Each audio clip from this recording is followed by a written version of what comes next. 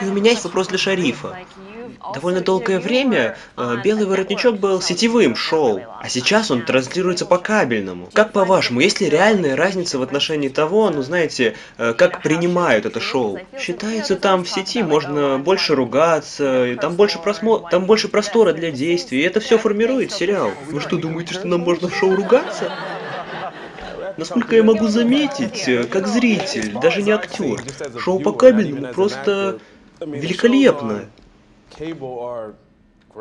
Знаете, великолепный сценарий, великолепные идеи. Конечно, некоторые каналы на тебя влияют и немного стесняют, но, знаете, в США прекрасные шоу. Я думаю, если различия и, ну, знаете, и заметны, то они минимальны. Ну хорошо, а как насчет увеличения количества зрителей онлайн по интернету? Вы, ребята, думаете об этом или вы просто, просто работаете? Я думаю, я думаю, это очень серьезный вопрос, касающийся всей индустрии в целом, индустрии, где мы работаем, индустрии развлечений.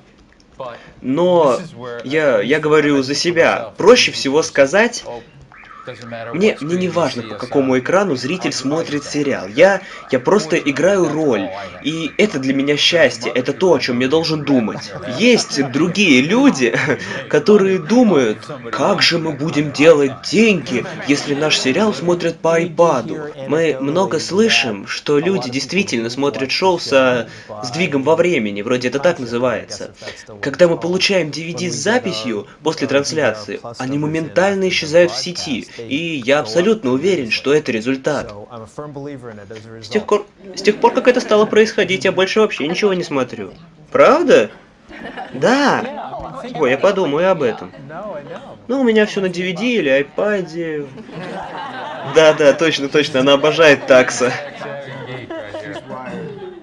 Ну, говоря о такса, э, у многих актеров ведь действительно есть твиттер.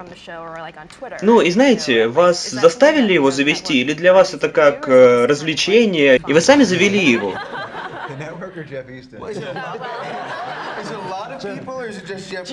Вы знаете Тифани? Тифани в Твиттере. Правда? Да, да, она пишет типа «Жду ребенка».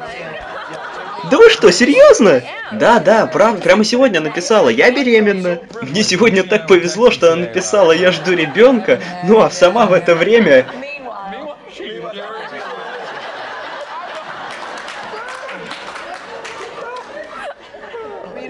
Мне это не нравится.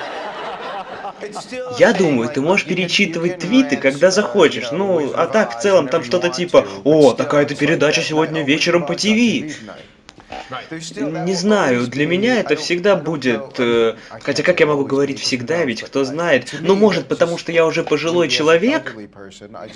Для меня это всегда будет что-то типа «Во сколько начинается шоу?» и «Пойду-ка я посмотрю шоу». Я думаю, это связано с фактом публикации твита. Э, постараюсь не углубляться в философию, но это связано с чувством общности. Может, люди смотрят шоу прямо сейчас. Точно, ты прямо сейчас смотришь? Именно, нужно с кем-то поделиться. Мы получаем отзывы, что люди сидят и смотрят шоу всей семьей, ведь наше шоу не перегружено стрельбой, насилием, смертями.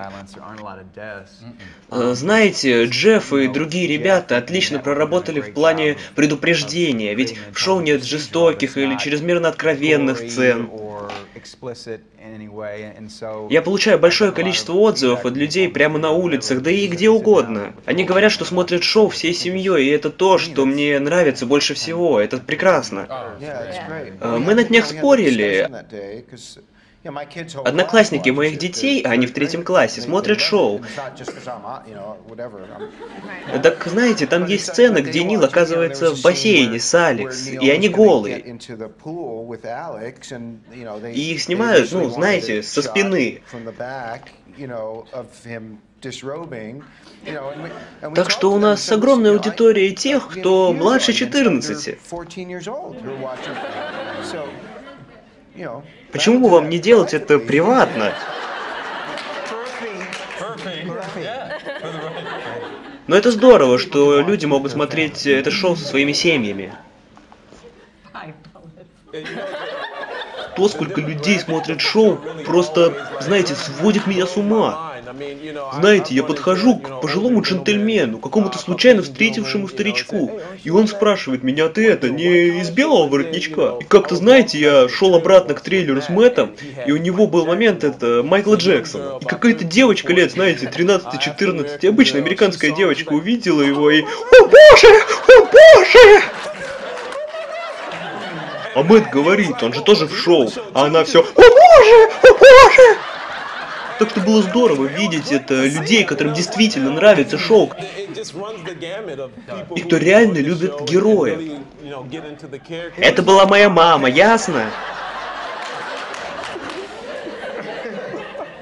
Трудно об этом шутить. Да все нормально. Озвучила команда Double Color специально для группы Bomber Babes.